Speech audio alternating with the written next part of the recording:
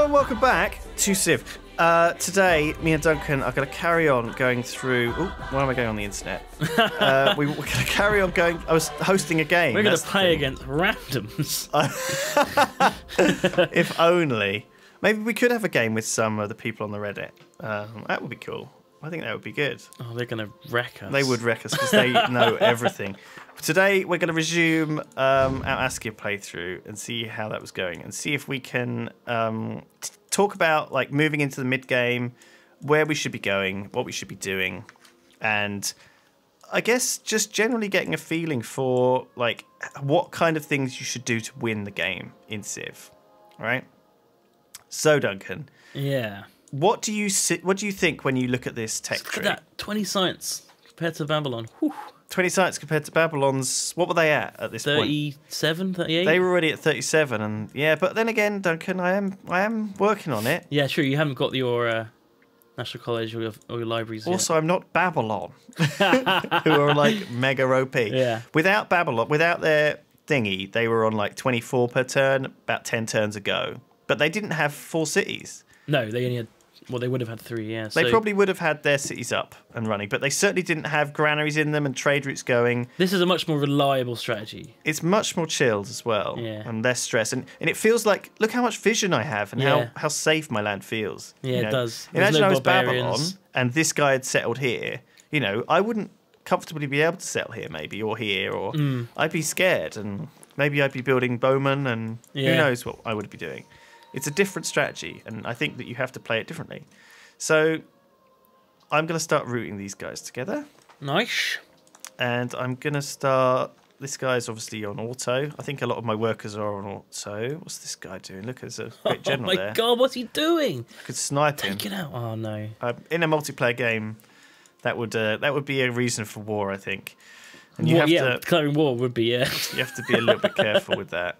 Uh, let's maybe I should head up here and get this soul actually better than the iron. I mean, linking up the iron will give me plus one production, but this will give me plus one production and plus one food. So that is something to think about. Also, it Mm. looks like I'm already working this tile anyway, so it's better to improve the tiles you're already working. yeah. Uh, let's. So that's the Oh, Temple of Artemis, Oh, there we go. which is all well and good. So it's now that guy likes you. fairly aggressive. Uh, this guy should be my friend uh, in the next turn, I guess. Oh, right, yeah. Hasn't realised yet. Um, my my faith per turn is so so big, which is just uh, dr- dreamy. Um, one turn on that library. If I see that, I automatically think, okay, in a multiplayer game, let's get something else building after it. Oh, I already have. Good. A Oh, I see, yeah. Uh, because I, I don't want to. Does it waste the reduction otherwise? No, it doesn't actually, but it's just because I might not notice it next turn, Right. or I might have other important things to do next turn. As much as possible, I want to set up these kind Oh, of building allies. Look at that. queues. Straight away. Allies. Oh yeah. So they are giving me a gold, which is boosting my happiness up to six. Two iron as well. Whew. Oh, they give me iron too, are they? Right. So the general strategy for the mid game is to go through the tech tree and get up to uh, acoustics, which I've already marked here. The reason we're sort of doing this is because this is a really good signifier for if you're not being attacked, but also it's a good marker point to, for where we want to get to, and it opens up our our Right. options in future.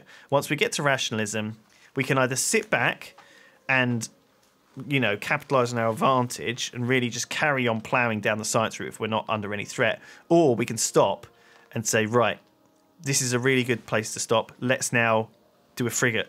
Let's go towards Yeah. frigates. Let's go towards artilleries. Let's go towards whatever attack, you know, crossbows or knights. So certain wonders are very, very powerful, like Alhambra is probably one of the most powerful ones. And it's powerful because military in Civ multiplayer games is something you're just going to have to do. Yeah. You know, um, Get over it. Jesus Christ. Oh no! Oh no. Right, so we've been ambushed. Okay. You'll pay for this. Now, I don't see any of their units, which is surprising, but I did see you. a great, great general, didn't I? Do you yeah, remember? that was south. And it's weird to see a declaration of war without that- units You've here. got your allied city state there with some two units. Oh, the music's all kicked off and started going crazy. Anyway, I finished tradition. Good. So that's great. Let's You got Panic. your um, you got your caravan there. Let's panic and start going and saying, right, holy crap, we need to build units, and we're not. We haven't built any units now. I didn't expect this to happen because, sure, they're not top on soldiers. I am bottom though. I'm scared, Duncan. I'm scared. His city is actually attacking my archers. Yeah, I think that's the only thing he did though. Oh my god! Oh, fine. it's a two pronged attack. Oh shit! so this could easily happen in multiplayer though. It really can. Um, oh, this scout. He's giving you a catapult though. You've got a catapult. So I got a catapult. Now, where do I think this is? A You're gonna take catapult down Nobamba. is one of the worst Obama. units. Um, Oh, no. Obama. Oh crap! I didn't expect this at all. So the tricky thing is that when you start getting attacked like this in multiplayer, the thing I do is I abandon all plans. I Yeah. completely throw them all out the window, and I'm like, everyone, start making units. Okay. Yeah. That is literally what I say. I, I completely throw out all plans. But now, it's so hard when it's like a wonder or two turns off or a library one turn off. yeah. It's like "Ah, I want to finish it first. Well, that's the thing. You have to if you're under attack and you know that they that the enemy is at your door, you just have to say fuck it. Like Yeah. switch these out. Obviously, I'm in a point where I knew I was safe because I'd scouted around and I could knew that this would give me time. And so I'm in a bit of a quandary now. Obviously, they've declared war. I know I'm going to be at war with them, but imagine in a multiplayer game, you're at war all the time anyway. I can't see any units, so why am I worried? I can't see that they're higher than me on the demographics, so why am I worried? They wouldn't declare war unless they had units though.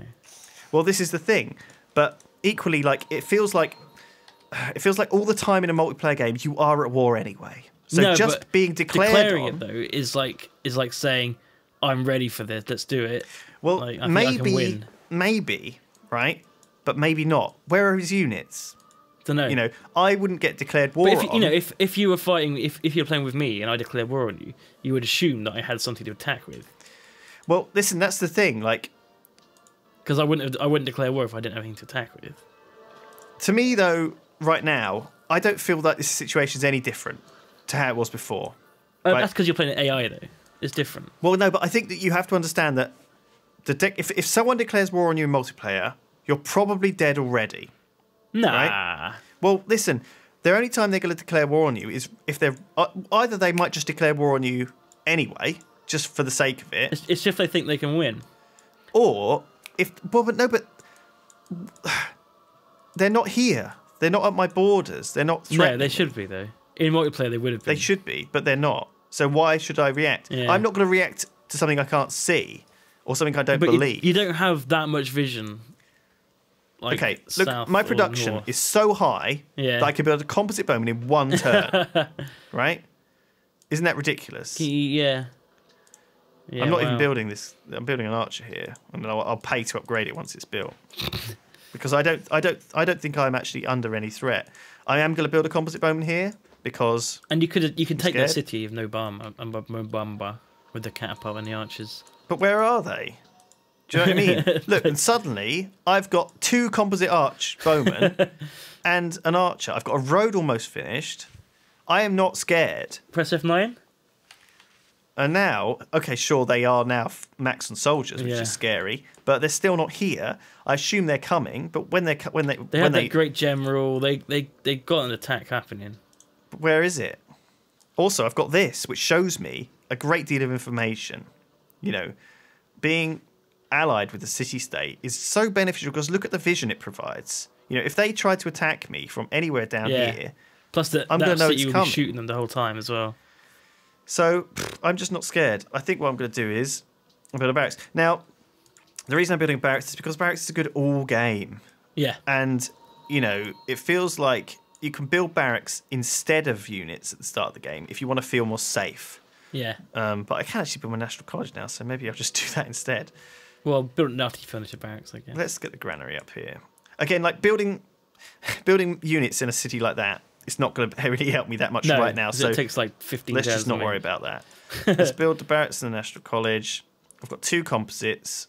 I've got a composite building there in seven turns. I'll build i'll move that one over there. This scout is fine. I'll just anchor him there. This guy's fine. I've got i mean i want hello I thought he was going to declare war. on you. that would be amazing wouldn't it Get that whale with the boat. Um, oh, Oh. yeah. Oh, Oh, it can't you haven't got construct outside my territory. So, do I want to pay a shitload of gold? No, you're, get- you're losing gold, so you don't really want to spend it yet. Fine, I'll do it anyway. Uh, let's put this composite in there. That'll stop me losing gold. Oh, you're getting gold from the, the tile, though. I guess. And I'll put. Oh, I see. When you when you put because you garrison them, yeah, you don't let's lose just gold. there until I can pay for the tile. Um, a golden age Golden dawned. age, perfect Right, and he is attacking me now with a, a warrior, which is going to do nothing. so I'm going to move my catapult. You might you, you could you could start marching on his city maybe. Where should I move my catapult to? I don't know if I can. Sh- I don't think catapults can shoot over mountains. But honestly, like him attacking this thing, good luck. Uh, I'll Yeah. move. I'll maybe move my composite bow actually over to.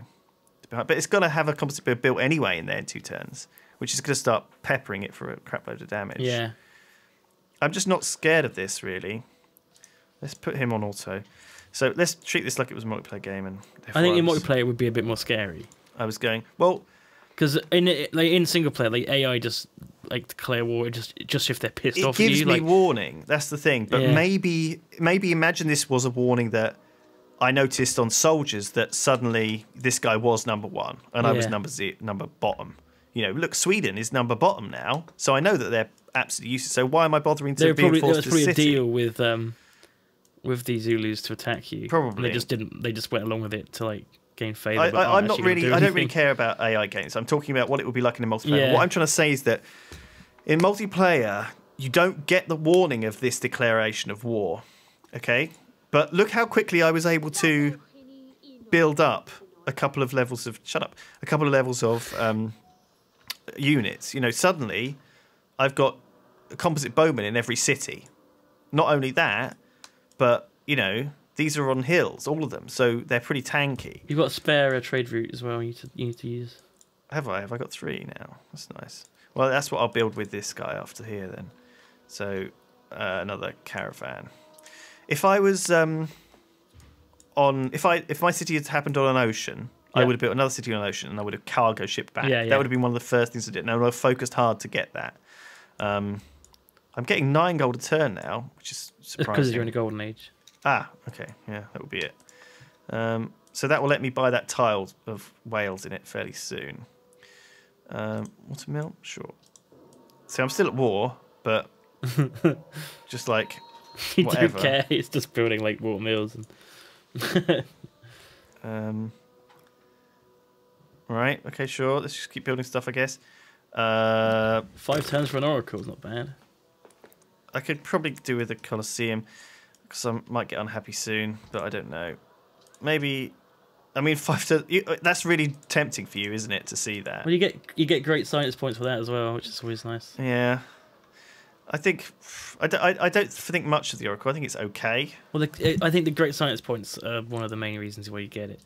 At this point in the game, though, I feel like I just want to wait till I can get to Renaissance. Yeah, I've obviously changed my build slightly structure to go to crossbows, and I've got there re- relatively quickly. I think that's the National College finished as well. Okay, so Yeah. that's why your science is now fifty-one, which is pretty good. So I mean it's it's coming up to turn 77 though, so I'm I'm getting fairly deep into the game.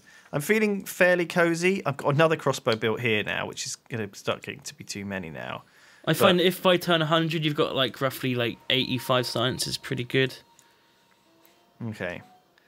So there's a great prophet. Let's enhance our religion. Let's fortify that guy. Let's build.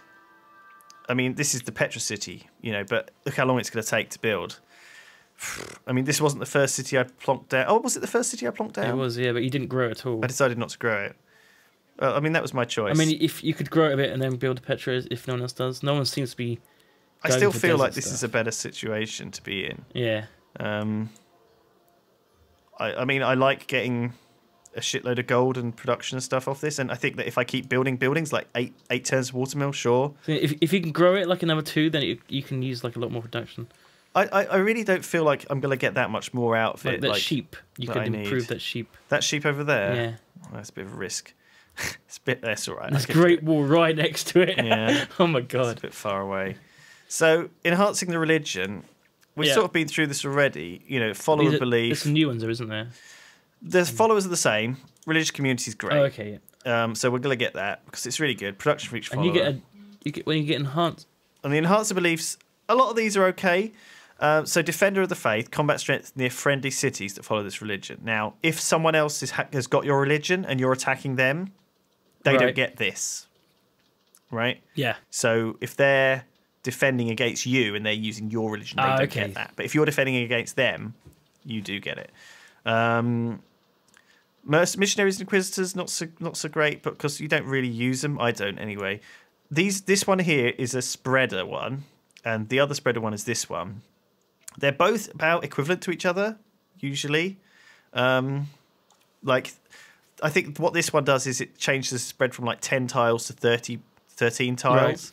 So if I know that like um I wanted to spread somewhere that's 13 tiles, one, two, three, four, five, six, seven, eight, nine, ten, then and I want it to get a little bit extra fu- extra further, then that's a good thing to have, and it will increase the way your religion spreads out across the world. Um, I don't know. It's up to you. Depends. I mean, I've also got tithe, so I want as many people as possible Yeah. to get it. If I, for example, had, if I hadn't taken tithe, okay, and I'd taken actually, I'd taken something else, and if I took, if I take religious community, so I've got these two follower um, ones. Anyone who has my religion gets pagodas and Yeah, religious community, good. which is really good for them. So maybe I don't want them to have my religion. You know, maybe I don't want to spread it. Yeah. Um, that means I just don't want to put any effort into spreading it. So what's left? You know, well, not super loads. Um, more common prophets coming in. That might be okay. what about the last one? Uh, Fifty faith every time a great person. It's terrible, actually. Well, I don't know if it's terrible. I just don't think it's very good. Like if you're buying them with faith at the end, then you're gonna be able to buy a few more. Yeah, that's true. But I just don't think it's. I don't think it's much good. I'm already getting like 15 per turn. How many great people am I really expending? Spreading to city states might be worth it because Look, if um, I look, if I expend like 10 great people across the whole game, yeah. that's like 500, which is not very much. What, what about spreading to city states? Because then it doesn't matter if you get the uh, religious community in the pagodas. Really. This is really bad. Yeah, no? yeah. bad. It's, Okay. It just doesn't really do much. Eh. I don't know. Uh, is a bit of a weird one, but I actually like this one. You know, because I think 20% combat strength near Yeah. your own cities, That's can't you can't go wrong, can you? which pff, is not terrible. It means you can defend better. um, I don't know. People will have their own attitudes towards this, I think, and you know you can read them on Reddit. Um, but again, it's fairly situational. There's a lot of really bad ones, as always. Something wrong. Something Oh more. no. What? What's wrong? So I went for uh, Delhi Katesan Delicatessen. for, uh,